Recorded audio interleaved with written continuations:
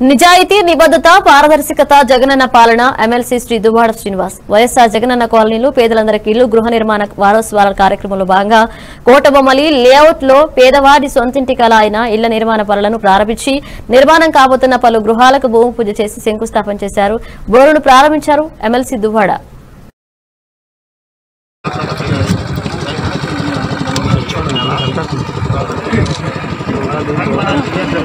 డబ్బులాగా ఉంటుంది.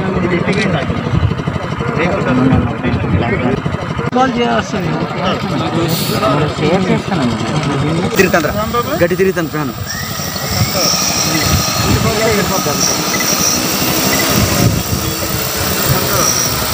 అదే సరే చేయాలి సార్ మనకి కూడా సరే చేయాలి